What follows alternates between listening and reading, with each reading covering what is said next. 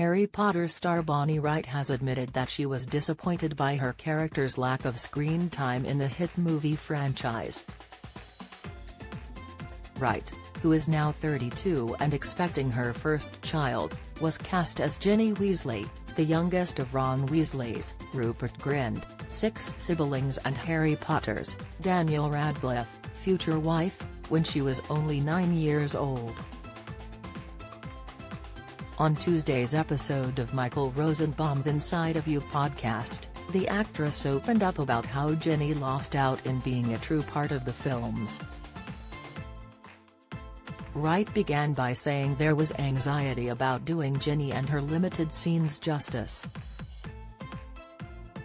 She explained, I definitely feel there was anxiety toward performing and doing the best thing as my character built, Wright said. Like, oh gosh, will I do justice to this character that people love?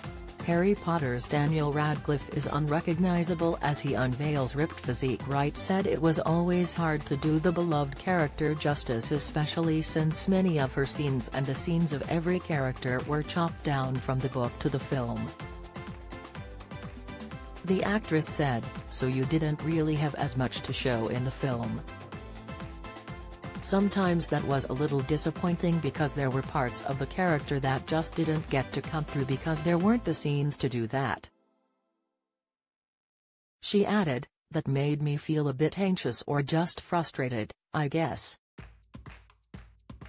In the franchise's first film, 2001's Harry Potter and the Sorcerer's Stone, Wright initially didn't have any lines.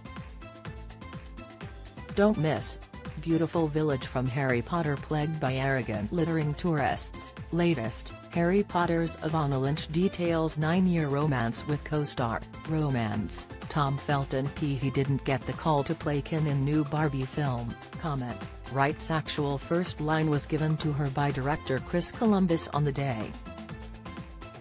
Ginny tells Harry good luck when Hess about to go through the barrier at platform 9 and 3 quarters. When Wright auditioned for Ginny, producers told her to read some of Hermione's lines because they didn't have any other scenes for her to read. Wright said, they were like, you're just going to have to read this character. At the time, Wright didn't have a clue that her character would later marry the titular character. The series was still being written by author J.K. Rowling, the soon-to-be mother said she didn't have conversations with producers about Ginny having more scenes because there was no room for much change in those scripts. Wright explained, there were a million executives going through them all. I think what I maybe took, which I don't take so much to heart now, is I kind of felt that maybe my anxiety was about, oh, am going to be seen as badly portraying this character rather than later realizing that I wasn't really given the opportunity to do that. So it wasn't really my fault, exactly.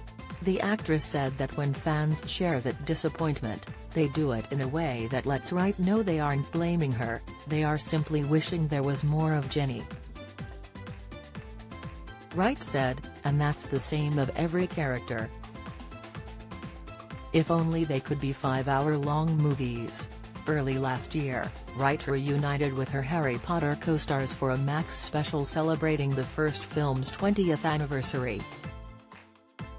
The streaming platform has also announced a TV series based on all seven books.